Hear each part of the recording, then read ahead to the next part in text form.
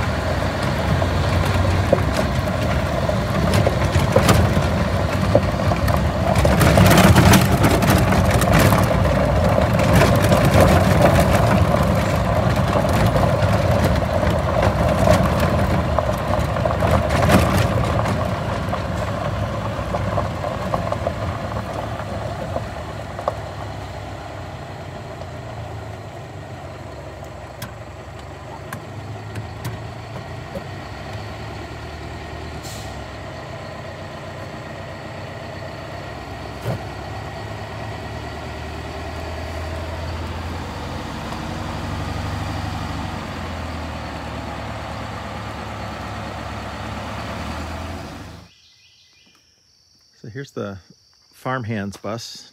Uh, Tim's bus is back. They put about 5,000 miles on it since the last time they were here, um, which was what, about a month and a half ago, I think, a little, little over a month ago at least. And um, a couple things. One, the transmission has an oil leak on it. Uh, it's pretty significant, so we're gonna tackle that. Uh, number two, the brakes, uh, he wants them readjusted and 5,000 miles. If you don't have, you know, these, these don't have auto slack adjusters, so you need to keep on top of them. Uh, 5,000 miles of driving is quite a bit and they're definitely out of adjustment. Uh, I went ahead and did them. Uh, the tags were really bad, which I knew they would be because remember the tags had not been, they had been inoperable for seven years. So somebody had disconnected the, the system and just left it disconnected and he did not know that. Um, so he reached out to the previous owner and found out you know when it got done and that's how long it had been. So uh, so the drums had significant rust on the inside of them and i knew it was going to take uh, you know the clearance and tolerances weren't there for you know at the beginning. It wore that rust that thin layer of rust away and then so they were definitely uh, about about one and a half full turns on the adjusters out. Um, they were still working but they just weren't working as effectively as they should have been uh, the drives were about a revolution, maybe one and a quarter revolutions out of adjustment, um, which isn't that bad. Uh, you know, maybe 30%, 40%, uh, probably 30% um, closer that I could have got it. And then uh, the fronts weren't bad at all. They were like a not quite a half a turn out of adjustment. So just to give you an idea, 5,000 miles of pretty hard driving. There's a lot of hills, stopping, things like that. So you, you can't just adjust them, you know, once every couple of years and, and think that you're good to go. You need to stay on top of it. So Uh, my bus, you know, I'll do a 2,000 mile trip and I'll make an adjustment on them and they'll be a good half turn out of adjustment. So anyways, got his brakes all done. Uh, everything's working good. I came down, tested it, came down the hill with it, no problem. Um, it's always easier to pull it up on a few blocks instead of uh, jacking it up. And then uh, I have more blocks that I lay behind it as a little overrun, and then I pull them out. So when I go to pull off, I can just yank them out of there. But um, it's easier. And these I switched, so it was uh, once it's up on there, I can move them to the other side. So we actually backed uh, or pulled forward onto those with the other boards on the other side, and then I'll now he can just drive away off of it. But I'll pull them out so the tag doesn't run over it. Uh, everything on the engine looks and sounds good. It's got a couple little oil drips down there, mostly the air compressor. That's our next job. We have a new air compressor to put on it. Um, we're going to replace the air compressor. We just don't have any of the gaskets right now for it. And I wasn't going to get them in time to get this back out. Um, it needed to be on the road for Saturday. And uh, I got it dropped off in the middle of the week. So uh, that's our next project. Um, we're going to order all the gaskets for the air compressor probably go ahead and replace the air governor too while we're in there. And while I have the air compressor off because I have to drain the cooling system, he wants to put a block heater in it at the same time. And the front leveling valve is bad. Uh, it's got some contamination in it uh, because the uh, air compressor was passing oil. It doesn't have an air dryer, but there's still a little bit of oil in the system. So I don't want to replace the leveling valve and risk getting contamination in it again. So we'll uh, replace the air valve once that new air compressor goes on, get the, the air dryer cleaned out and then uh, blow out those air lines. Um, and we should be good to go there then. And so next trip, uh, next time it's in, we'll uh, go through and, and work on that air system and get that block heater and stuff put in too. So uh, they definitely use it a lot. They've been traveling to a lot of uh, shows playing their music, the Farmhands Quartet. Um, that's really neat to, you know, watch guys that uh, are out and actually playing music and keeping people, people happy and stuff. So anyways, uh, it's a great bus, and uh, we'll get into the transmission leaks here and see what's going on with that. So this little cover, we actually replaced the gasket last time, but it needed a thicker gasket, so I've got a cork one to go on there that I made. Um, it's got a little bow to it. It's not completely flat, and I tried to clean it up and tap it back. So hopefully that'll stop his transmission leak. So I was just getting ready to replace the transmission pan gasket here. Um, thinking that's where it was leaking at. But then I really got involved and looked up here and it's all JB welded together. The corner of this has broken and it's been JB welded back together. And that's the actual casting of the transmission, not the um, the pan there. So I'm going to do my best to clean it all up and see what we can do here.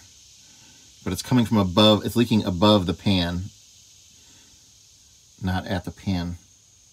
So it's wet up here. So we'll see what we can do. We got two of the three. So far, we fixed two of three oil leaks on this transmission, but this one's pretty significant. As I think you just saw it drip there.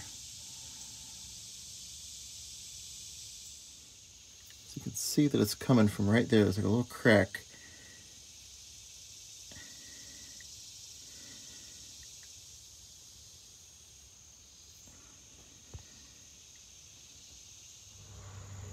Okay, so I drained about three gallons out of the trans, so it'd be below that. Cleaned it up with brake clean, took a screwdriver and a hammer and chiseled all the old JB weld away there. And then cleaned it up as best I could and uh, used some right stuff on it and put it on there, let that dry. I filled it, the transmission fluid's full again, and it is not leaking at all. So I'm gonna let, um, probably put one more layer of Permatex art over it.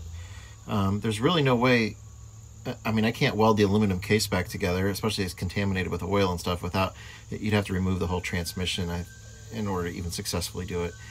Um, so, you know, th this should get him by, and then we'll keep an eye on it and monitor it.